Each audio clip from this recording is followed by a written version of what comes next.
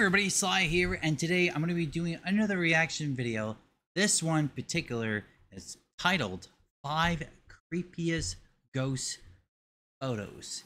And this is recorded or uh, uploaded by the All Top 5s. That's the YouTube channel. I'll put the link in the description down below if you want to take a look at the original video.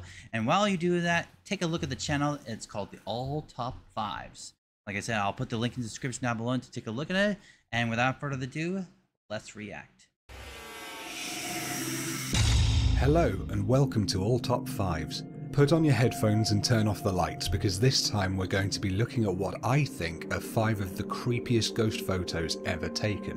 Whether you completely believe in the paranormal, or if you're more of a skeptic like me, or you just think it's all nonsense, this top 5 should still send a shiver down your spine. Especially stay tuned for the final two, they're seriously creepy.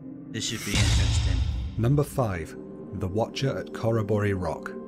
The older a Hmm. photo is, the less likely it is to be a forgery, and in the 50s there was very little in the way of photo editing techniques that were clean. That's what makes this photograph so intriguing.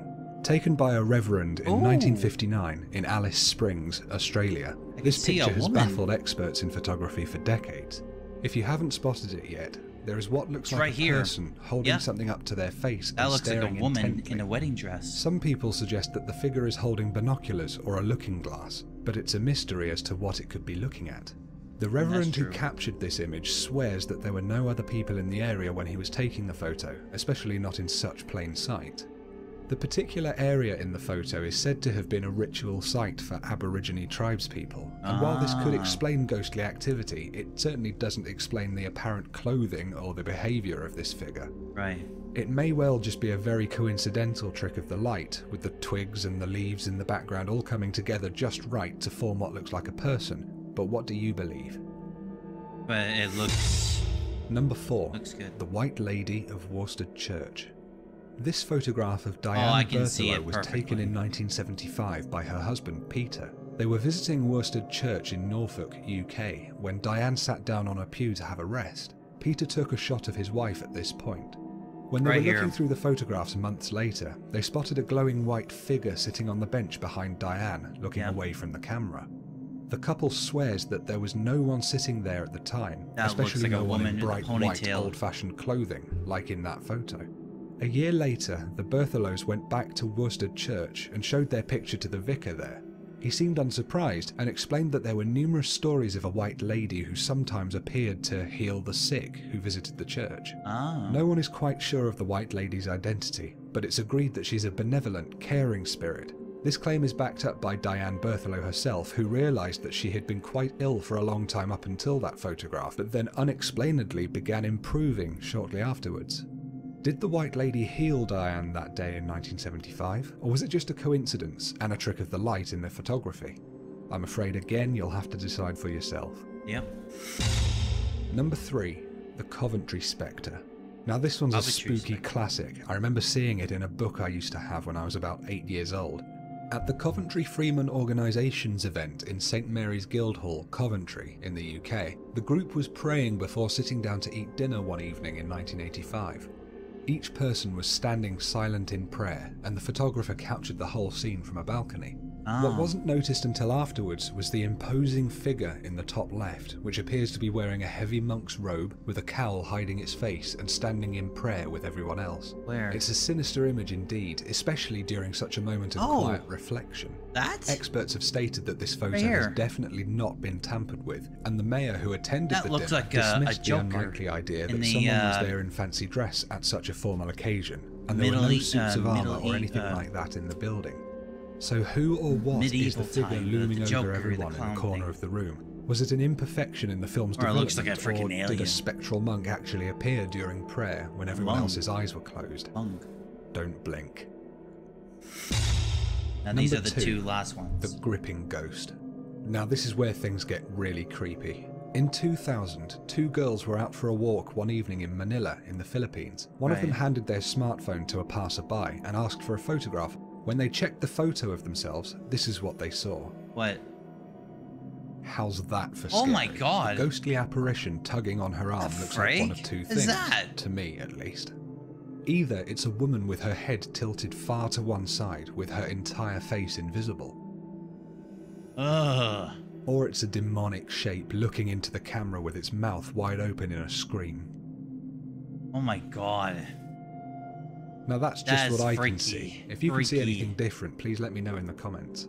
What's undeniable is the ghostly white hand grasping hold of the girl's arm. I This thought isn't that an was error her in developing hand. a film because this is actually a digital photo, but it's definitely possible that the image has been manipulated using computer software. If Prob- it has yeah. been forged, it's a really good trick, but if it hasn't, and that's truly a ghost trying to hold on to a girl for some reason, it's a really, really scary prospect. Yeah. Definitely frightening enough to hit this top five. So what's number one? Number one? the Queen's House Ghost. Queen's In House. Ghost. 1966, Reverend Ralph Hardy was visiting the Queen's House in the National Maritime Museum in Greenwich, London.